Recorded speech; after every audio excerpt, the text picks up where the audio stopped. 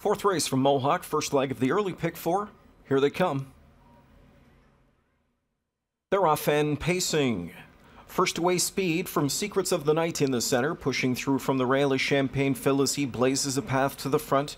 Was up, was up, is out for position third, far outside, up the credit fourth, dropping in fifth is Grin for Money, sixth outside to JJ Shark. Then I Scoot Sam, followed further back towards the inside, shown up eighth at the rail as they travel to the quarter pole. There is Drain Daddy. Further back to be at the inside from a ninth position as they hustle by that first marker is Nickelbag and Brock's Fortune Trails, opening quarter in 26 and 3 over the sloppy going. Into the backstretch, Champagne Phil leads the way. Pocket sitting from in second is Secrets of the Night. Up the credit from in third, then Grin for Money fourth. Was up, was up the fifth one. Sixth back at the rail.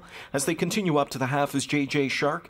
Tracking him seventh eye, Scoot Sam. He tips outside, waits on some cover to get rolling. Drain Daddy in the meantime takes his position at the rail and shoots through for Pierce, who finds that opening. Also going to scoot through at the inside, Nickelbag. And Brock's Fortune is a gapped out last. 55 and 2 the first half, 28 and 4 despite no pressure. Champagne Phil to roll right along here as they move into the far turn. He leads it by just over a length. Looks good to that 5 8 pole. Pocket sitting second, Secrets of the Night. Then it's back third, inside to up the credit, gearing up and fourth. Grin for money now as he starts a rally. Going to track his cover, was up, was up now. And Secrets of the Night is pocket popping for Filion as they come to three quarters in 123 and 3. Champagne Phil with that lead now. Secrets of the Night coming to him on the outside from in second. Then Grin for Money launched out from in third. Into the stretch they come. Champagne Phil still there with the lead. Secrets of the Night is inching in on the outside. Rolling up late from the backfield now. Here comes good late speed from I Scoot Sam. And it's I Scoot Sam at 7 to 1. Sailing by them all.